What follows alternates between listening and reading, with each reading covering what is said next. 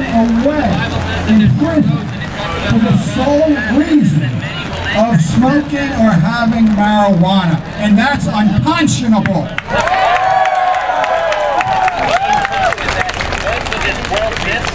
Now let me tell you a little bit about my career.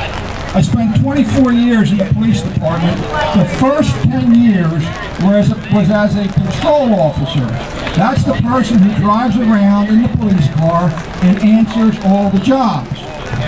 Well, I can say that uh, about three or four jobs every tour were about domestic disputes. A domestic dispute is when two or more people are fighting and screaming in a house and one of them calls the police.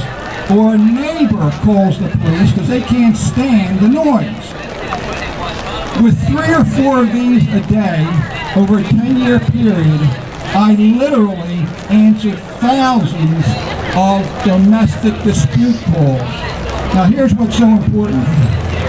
Of all those thousands of domestic dispute calls, I would say about 95% involved alcohol.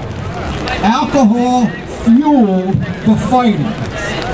Now, in those same thousands of domestic dispute calls, not one, not one single home did I go into where the fighting was due to marijuana.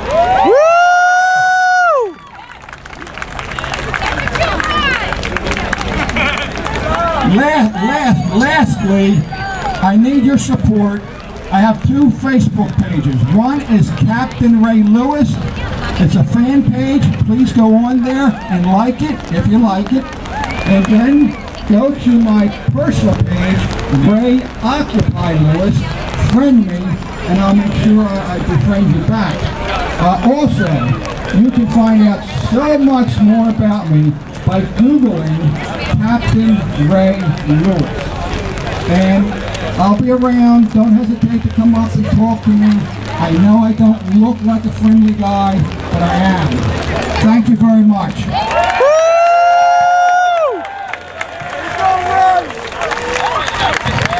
Thanks, Ray.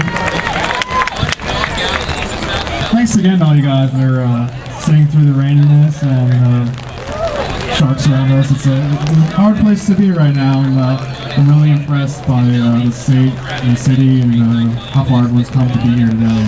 It's really awesome. Thank you. It's my great